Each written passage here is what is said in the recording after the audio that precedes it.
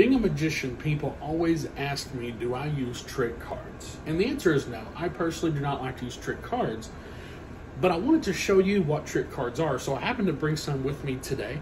Now, at first glance, they look pretty normal. They don't look like trick cards, they just look like the four fours.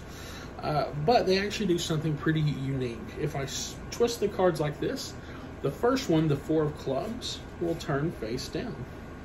Just like that. Pretty neat. If I twist it again, the four of clubs turns face up, and the next one, the four of diamonds, turns face down. Give another twist, the next four, the four of spades. And now finally the final four, the heart.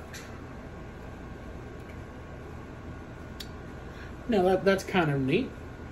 But they're not only trick cards, they're also tricky cards. They like to play tricks on people. For example, if I asked you what color were the backs, you would say blue.